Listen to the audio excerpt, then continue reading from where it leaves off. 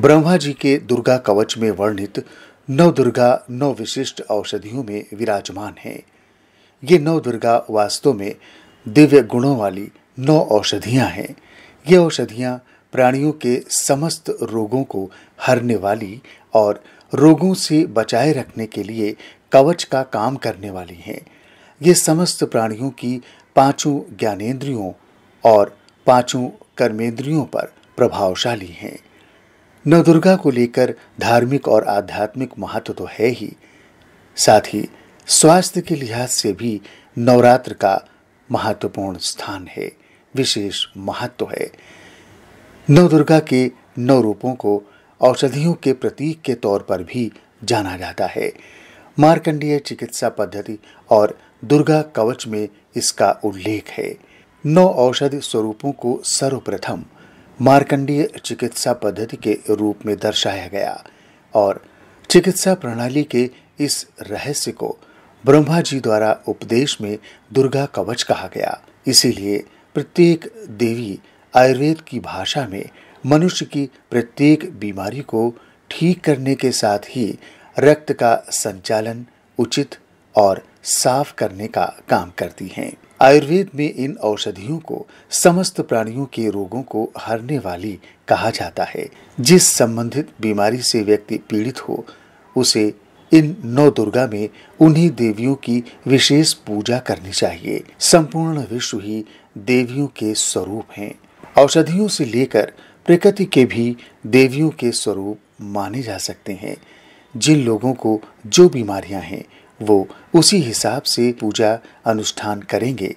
तो संबंधित रोगों में भी नवरात्र शुभ फल देने वाले साबित होंगे। देवी के इन स्वरूपों को हम स्वास्थ्य की संजीवनी देने वाला मान सकते हैं। देवी माँ का पंचम स्वरूप, यानी स्कंद माता, अर्थात अलसी, नवदुर्गा का पांचवा स्वरूप स्कंद माता है, जिन्हें पार्वती एवं उमा भी कहते हैं।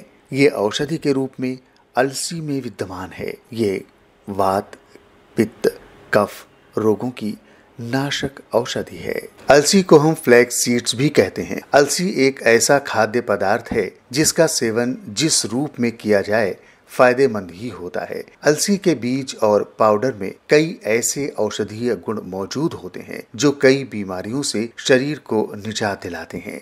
अलसी में कई ऐसे पोषक तत्व होते हैं जो मानव शरीर के लिए स्वास्थ्य वर्धक हैं। अलसी omega three fatty acid vitamin B one protein fibre magnesium manganese phosphorus selenium iron इत्यादि का एक बढ़िया स्रोत है। भरपूर मात्रा में ओमेगा थ्री फैटी एसिड मौजूद होने से अलसी हमारे शरीर के इम्यून सिस्टम को मज़बूत करता है। और हमारे शरीर को कई बीमारियों से बचाता है। खाली पेट अलसी खाने से पेट साफ़ होता है और पाचन क्रिया मज़बूत होती है। अलसी में हाई फाइबर और लो कार्बोहाइड्रेट होता है, जो वज़न कम करने के लिए काफ़ी फ़ायदेमंद माना जाता है। प्रचुर मात्रा में फाइबर का सेवन करने से त्वचा पर नमी और सुंदरता बरकरार रहती है। अलसी के बीज का नियमित रूप से सेवन करने पर खराब कोलेस्ट्रॉल कम होते हैं। अलसी में मौजूद फाइबर घुल जाती है और इंसान में अत्यधिक भूख मिटाती है, जिसके कारण इसमें वज़न को कम करने की क्षमता आती है। यदि नियमित रूप से इसका सेवन किया जाए तो ये फाइबर पेट को भर देती है और मस्तिष्क तक ये संदेश भेज देती है कि अब खाने की ज़रूरत खत्म हो चुकी है। इसलिए अब खाना रोक दिया जाए। चूँकि अलसी के पौधे में ओमेगा थ्री पाया जाता है, जिससे ये हार्ट बीट को सामान्य रखने में मदद करता है। इससे हृदय की धमनियों में जमा कोलेस्ट्रॉल घटने लगता है और ब्लड सर्कुलेशन बेहतर होता है, जिसकी वजह से हार्ट अटैक की संभावना बहुत कम हो जाती है। फाइबर युक्त होने की वजह से अलसी पाचन तंत्र के लिए भी चमत्कारी साबित होता है।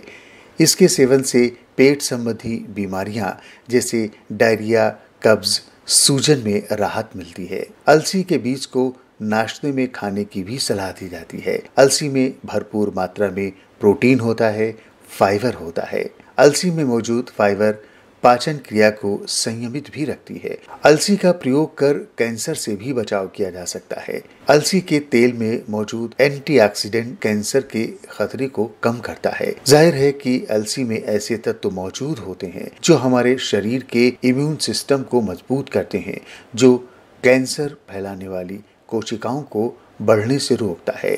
आज के बदलते परिवेश में हर दूसरे इंसान को डायबिटीज़ की समस्या होती है। ऐसे में अलसी का उपयोग शरीर में बढ़े हुए शुगर लेवल को चमत्कारिक रूप से दुरुस्त करता है। अलसी के पौधे में पाए जाने वाला लिग्नन शरीर में ब्लड शुगर लेवल को नियंत्रित करता है।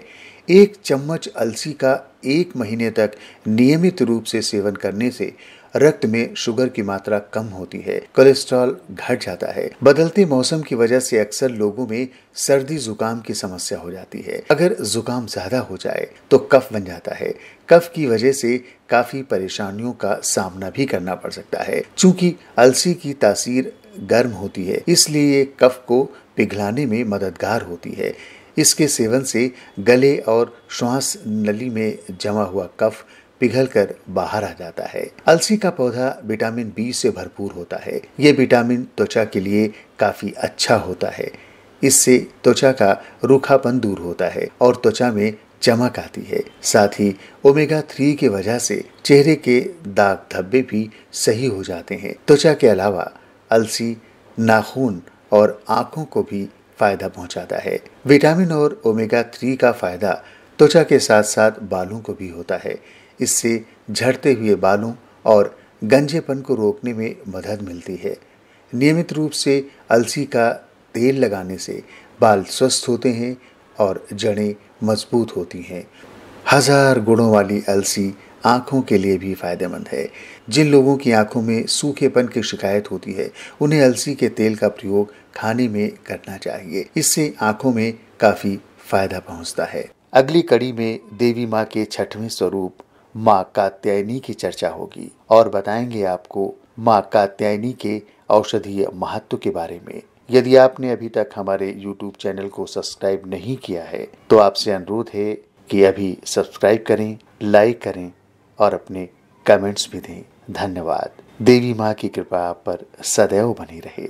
जय माँ दुर्गे।